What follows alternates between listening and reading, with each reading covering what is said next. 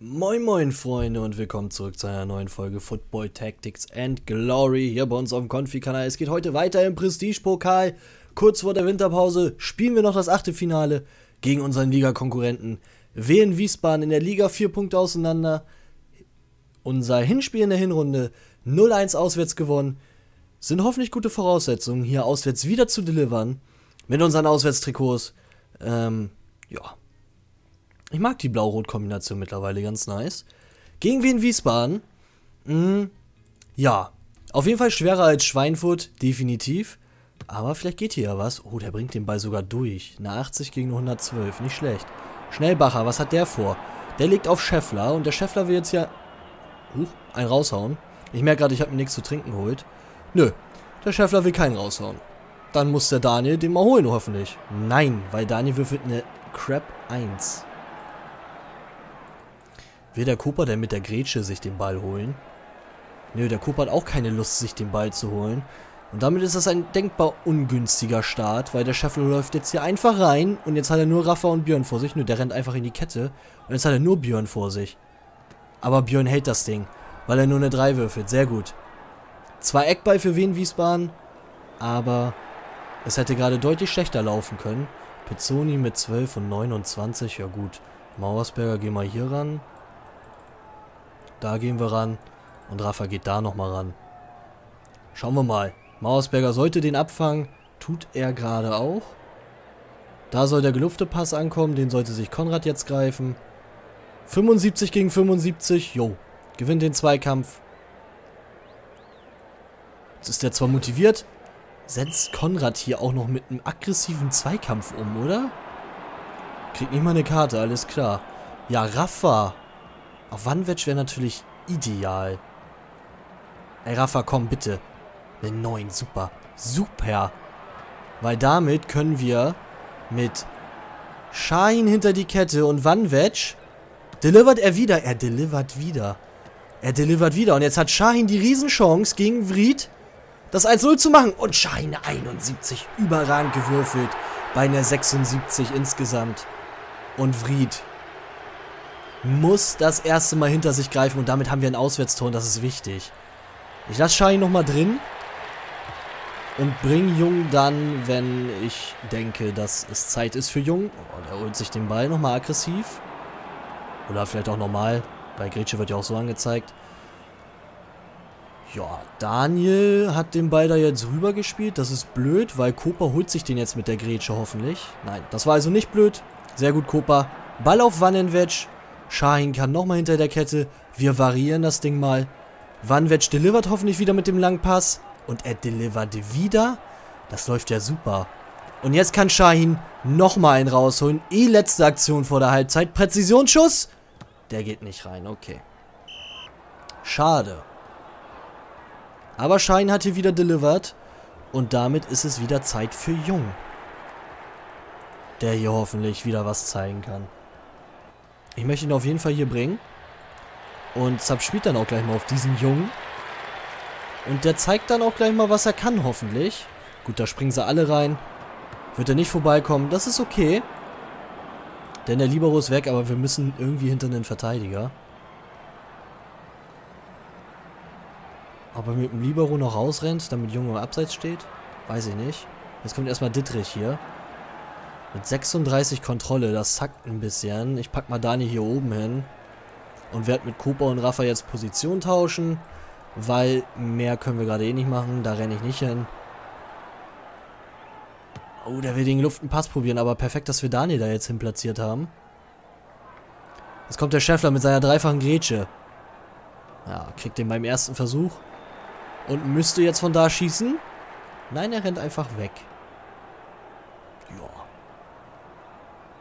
Kommt uns nur zugute gerade tatsächlich. So, Wellisch. Und ich hoffe, ich hoffe, Wellisch hat Lust. Ja, Wellisch hat Lust. Und theoretisch... Mist, der ist jetzt auf einmal stark. Oh, theoretisch kann Wellisch... Oh, und Wellisch macht das sogar. Der würfelt eine 7. Das war ja ein überragender langer Pass. Übers ganze Feld. Und jetzt Jung. Mit einer 20 gegen 18. Jung macht sogar das 2-0. Jung delivert ja unfassbar im Team. Holy moly! Da ist ja mal wirklich Delivern angesagt hier. Nice one, Jung. In der 80. Minute das 2-0. Damit habe ich jetzt echt nicht mehr gerechnet, nach Schein hier noch eine, ein Tor zu schießen. Oh, da gibt es einen Foul. Ist das aggressiv? Nein, Daniel ist nicht tot. Sehr gut. Ja, Ball auf Vanwetsch. Jung geht wieder hinter die Kette. Und Vanwetsch hat nochmal Bock, das zu aufzulegen. Oh, Vanwetsch.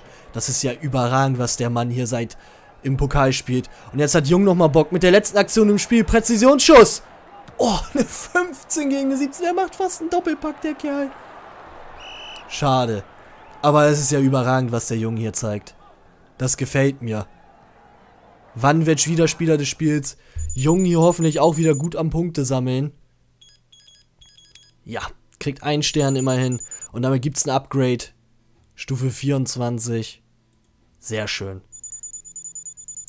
Shine kriegt ein Upgrade. I like. Der ist schon sogar richtig gut dabei. Ja, komm, hier 30%, damit du einfach nochmal mehr aufsteigst, aufsteigst, Junge. Jung kriegt ja auch gut Punkte. Bin mal gespannt, was der schon für einen Zweig hat. Und damit gibt es wieder 81 Fans. Es wird sich sogar lohnen, nochmal auszubauen. Aue hier mit einem 2-4 gegen einen. Preußen Münster geht gegen Pauli unter. Regensburg schlägt Lotte. Würzburger Kickers, Karlsruhe, Zwickau, Osnabrück. Ja, das sind alles große Kaliber da nur noch, die sich hier alle durchsetzen momentan. Ob es da noch eine Überraschung gibt, ich weiß es nicht.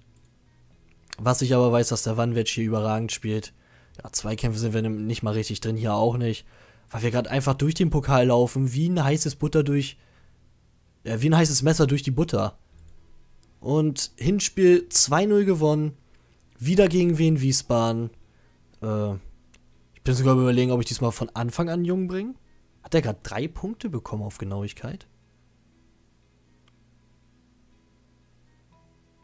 Benny hat auch schon 35 Genauigkeit, ne? Ich glaube, ich bringe, klar, jetzt könnte man sagen, äh, geh lieber auf Pokal, damit du noch äh, Ruhm dann irgendwie mit Schein dann bekommst, damit der hochkommt. Aber, äh, nö. Ich werde den Jungen hier hinpacken und äh, möchte, dass der dann ordentlich äh, Punkte farmt. Schnellbacher ist da, da können wir wieder wechseln eben. Da denken die, ich habe nicht aufgepasst. Ja. Das sollte doch hoffentlich zu wuppen sein. Ich meine, es könnte immer was dazwischen kommen.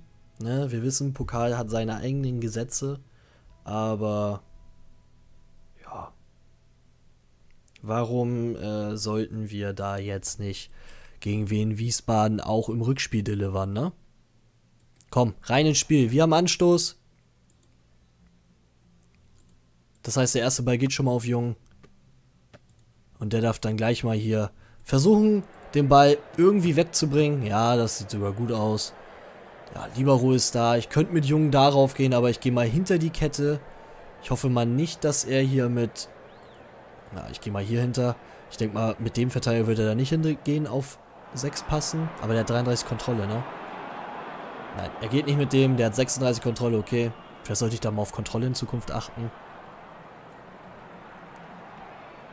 Dittrich, ja, kontrollier du mal das Ding. Äh, tatsächlich Ah, ich hätte sogar mit Jung jetzt mal laufen können, nochmal hier vor und zurück, ne? Ja. Tatsächlich äh, ist mir das gerade relativ wumpe. Äh, mit Daniel bleibe ich auch stehen, damit ich da nicht aufmache. Uns reicht ja momentan, wie wir da stehen. Daniel hat hier gerade wieder den Ball. Da gibt es die dreifache Grätsche und der wurde gepresst von Wenninger und damit hat Daniel den Ball. Wird auch nicht gefoult. Ähm, hier haben wir eine Elf-Verteidigung, die sollte Daniel hoffentlich gewuppt bekommen. Muss er nicht mal gewuppt bekommen. Weil wir den Ball da jetzt einfach durchstecken, hoffentlich auf Vanwitsch. Das wäre richtig gut. Yes! Sehr gut, Daniel. Jetzt müssen wir mit Vanwetsch gar nicht mal äh, durchstecken. Wir spielen trotzdem den langen Pass.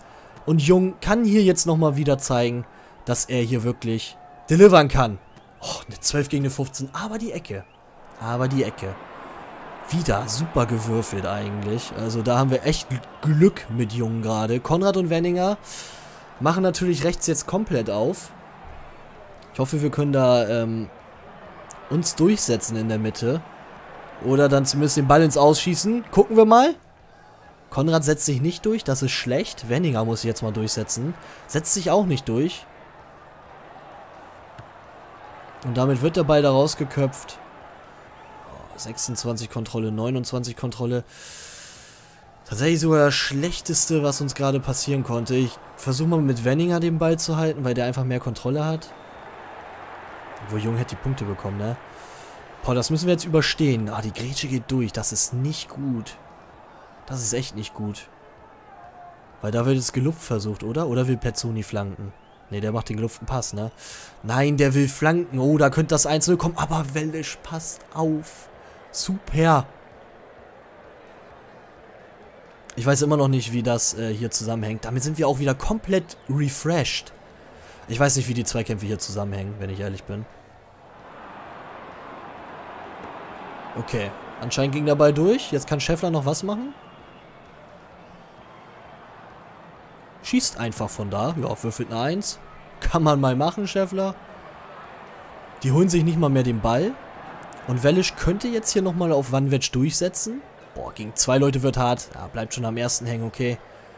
Cooper kann nochmal die Grätsche ansetzen, dann gibt es ordentlich Punkte. Sehr schön, Cooper. Und ja, bring den Ball doch mal auf Jung. Vielleicht kriegt er nochmal Punkte. Schade. Okay. 0-0 zur Halbzeit.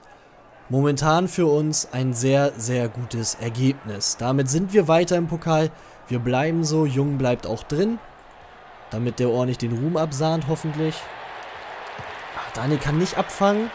Jetzt müssen wir auf unsere Abwehr hoffen. Scheffler, kann der hier was zeigen? Nein, kann er nicht gegen Wenninger. Ist zwar jetzt motiviert, kann sich den Ball wiederholen.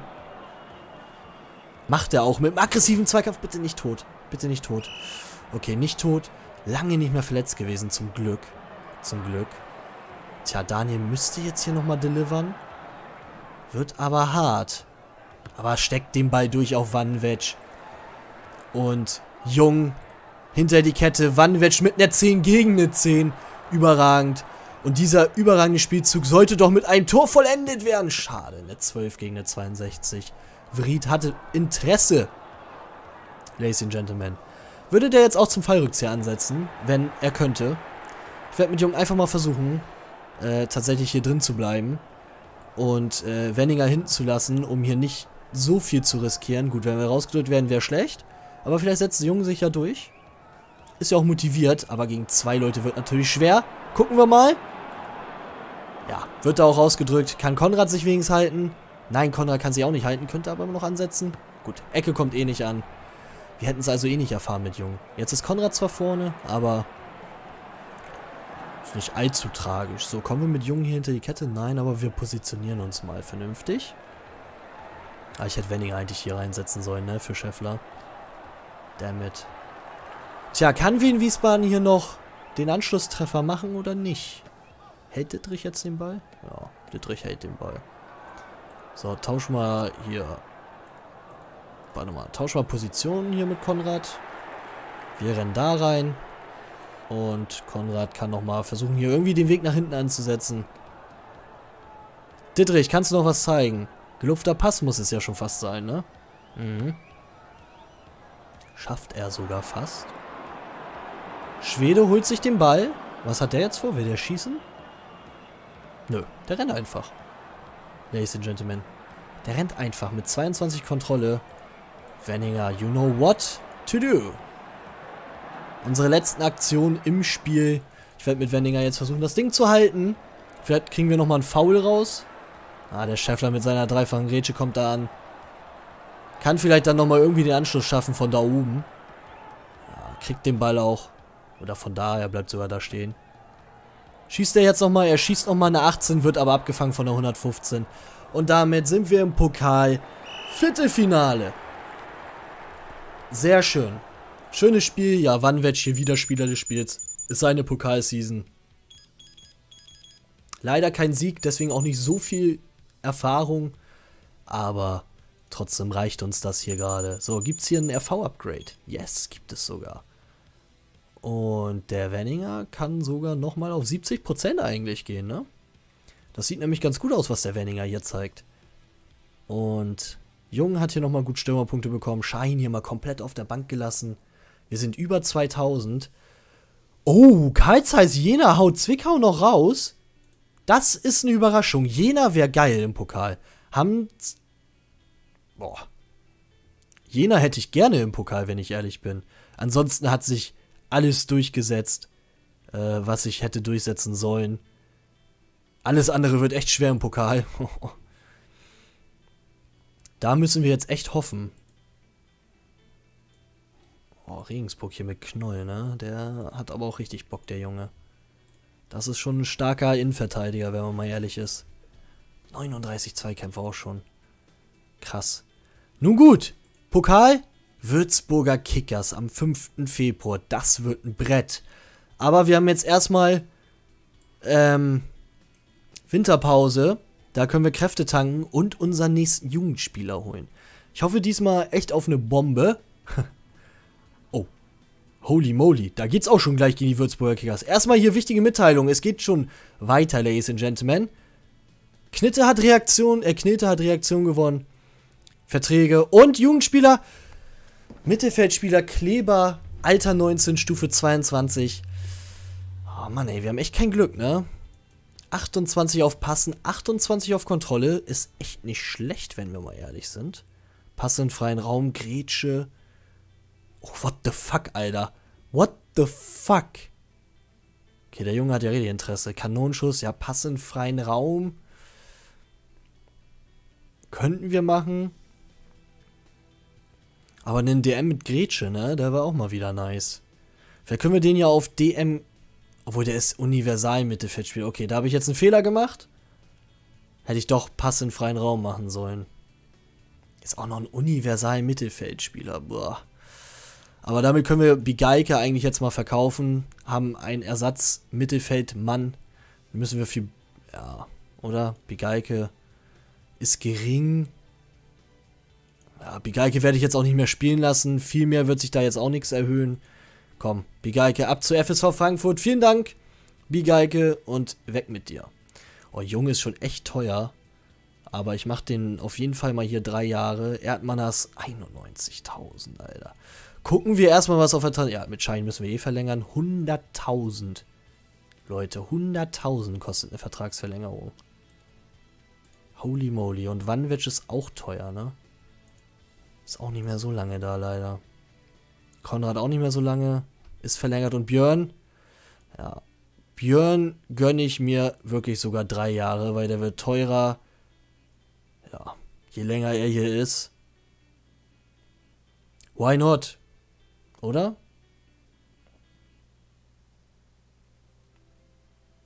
Auch wenn es 150.000 sind.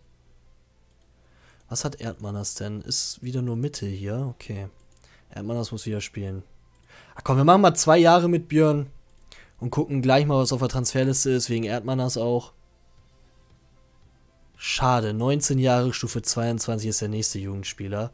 So, was haben wir hier? Oh, Stürmer en masse. Giau. 29 Jahre jung, 77. Stufe 44. 76, 29 Jahre jung. Wir sehen leider nicht wann der Geburtstag hat, ne? Theoretisch könnte sich das lohnen.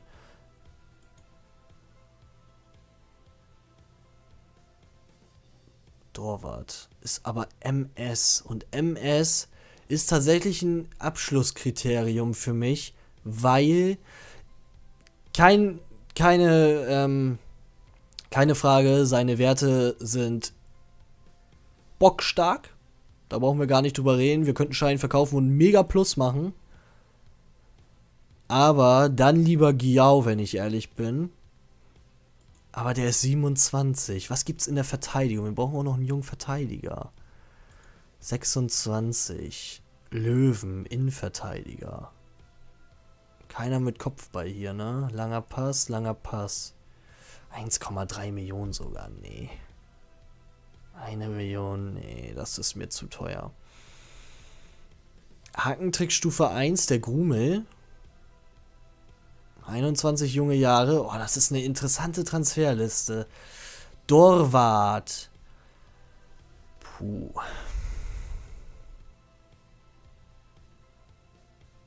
Dreißig Jahre, schade. Prinosil macht jetzt nicht so viel Sinn. Weil der hat den langen Pass, deswegen schade. Wäre aber auch noch ein Jahr jünger als Vanwetsch, ne? Boah, wollen wir das sogar machen? 284.000, was hat der? 310.000. Wäre ein Jahr jünger, ne? Vom FSV Zwickau, theoretisch.